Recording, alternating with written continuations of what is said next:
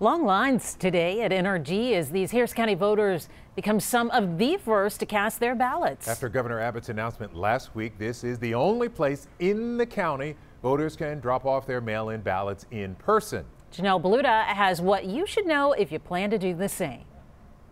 This year, the Harris County Clerk's Office is anticipating a record number of mail-in ballots. So far, they've mailed out 228,000 ballots with more to follow, and already they've received 1,600 back. A fourth of them dropped off in person at NRG. Once you send in your vote by mail application, you can track its progress on the clerk's website as well as the latest on your ballot.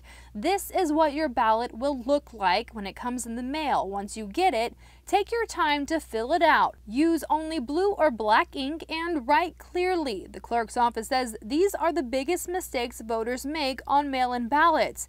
The signature on their ballot does not match the one on their application. They didn't sign inside the red box on the back of the official envelope, or they did not return their statement of residency form. Once you're certain you've completed your ballot correctly, return it as soon as possible. And you have two ways to turn it in. Either send it back by mail using two standard stamps or drop it off in person. In Harris County, you can only do that at NRG Park by entering through Gate 9 off Kirby Drive.